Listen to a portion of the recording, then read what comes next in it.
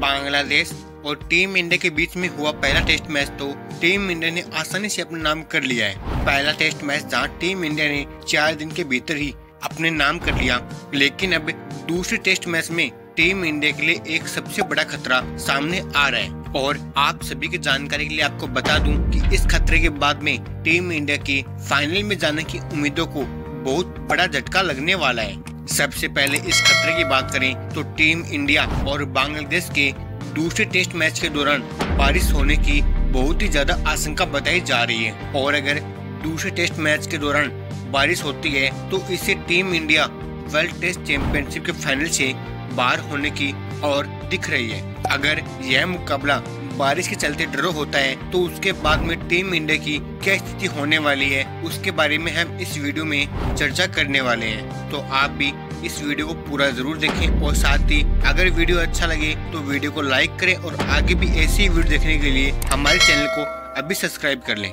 जैसा की सभी को पता है की टीम इंडिया ने पहला टेस्ट मैच दो सौ अस्सी रनों ऐसी अपने नाम कर लिया।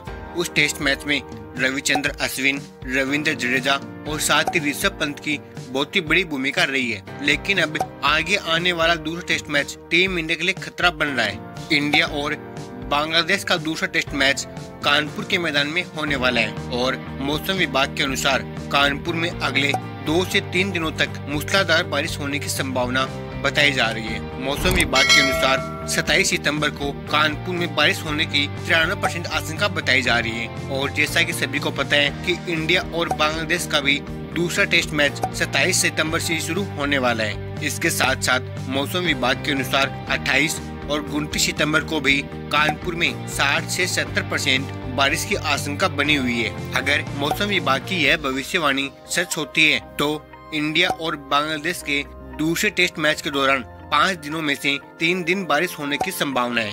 और अगर तीन दिन तक बारिश होती है तो उसके चलते दो दिन का टेस्ट मैच खेला जाएगा।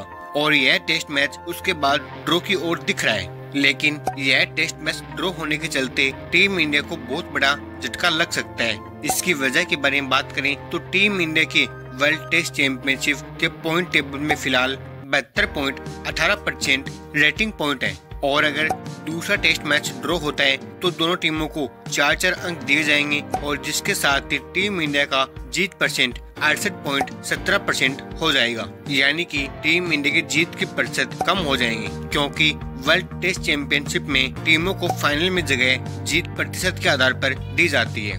वहीं अगर इस मुकाबले में बारिश नहीं होती है और टीम इंडिया यह मुकाबला जीतती है तो टीम इंडिया के बहत्तर परसेंट ऐसी सीधे चौहत्तर परसेंट हो जाएँगे। और एक तरफा अगर देखा जाए तो बारिश नहीं होती है तो इस मुकाबले में टीम इंडिया के जीतने की ज़्यादा संभावनाएँ नज़र आती हैं। टीम इंडिया को वर्ल्ड टेस्ट चैंपियनशिप के फाइनल में जाने के लिए आगे आने वाले नौ मुकाबलों में से पाँच मुकाबलों में जीत ज़रूरी है अगर टीम इंडिया बांग्लादेश के साथ होने वाला दूसरा टेस्ट मैच जीत लेती है तो टीम इंडिया के लिए आगे आने वाले आठ मैचों में से मात्र चार मैच जीतने होंगे लेकिन अगर टीम इंडिया यह मैच ड्रॉ होता है या फिर बारिश के चलते रद्द होता है तो टीम इंडिया को बड़ा झटका लगने वाला है, क्योंकि उसके बाद टीम इंडिया को आगे आने वाले आठ मुकाबलों में से पाँच मुकाबलों में जीत चाहिएगी। और आगे आने वाले मुकाबलों की बात करें तो टीम इंडिया को इसके बाद में पाँच टेस्ट मैचों की सीरीज़ ऑस्ट्रेलिया से और साथ ही तीन टेस्ट मैचों की सीरीज़ न्यूजीलैंड के साथ खेलनी है। और उन दोनों टीमों से जीतना